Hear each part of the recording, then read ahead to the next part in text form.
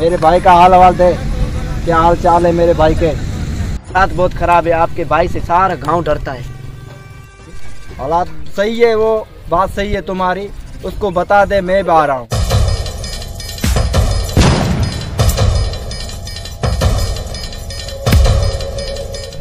नहीं करो मारना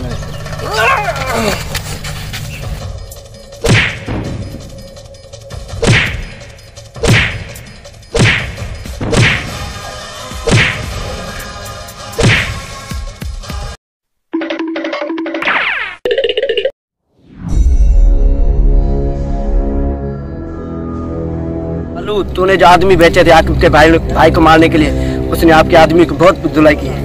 मुझे पहले भी पता था इन मनुष्यों का। ये किसी काम के नहीं है।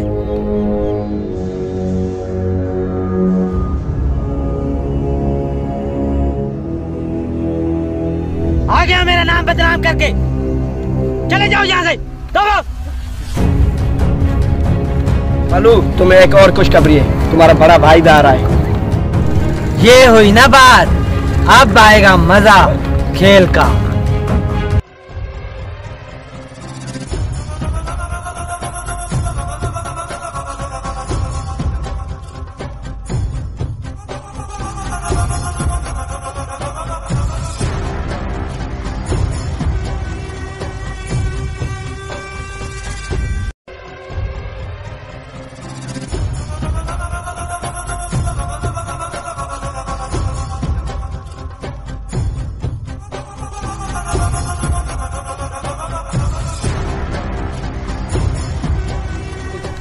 हाँ भाई आपकी बहुत ज़रूरत थी आप आ गए।